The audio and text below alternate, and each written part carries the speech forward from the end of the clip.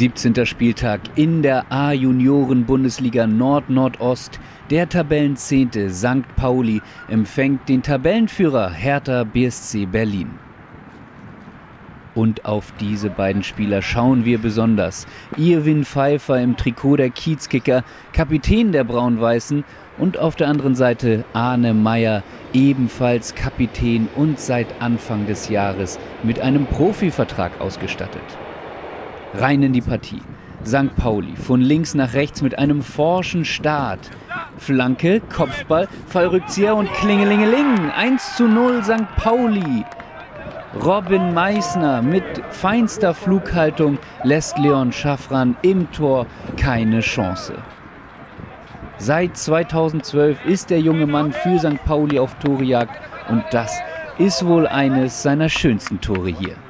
Pauli weiter gut in der Partie steht hinten tief, kontert schnell vorne und provoziert so auch Standardsituationen.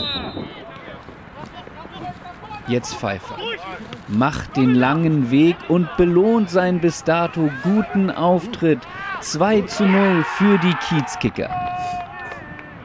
Pfeiffer bessert damit seine Statistik auf und trifft zum siebten Mal ein wichtiger Torgarant für die Boys in Brown.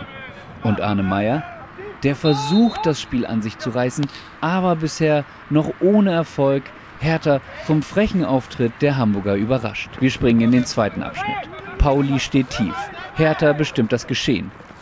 Der Ball kommt auf der starken rechten Seite zu Zografakis und es steht nur noch 2 zu 1.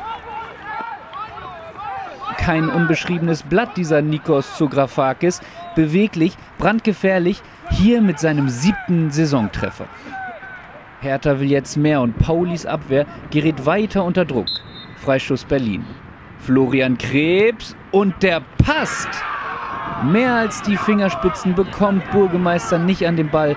Traumtor des Mittelfeldmotors.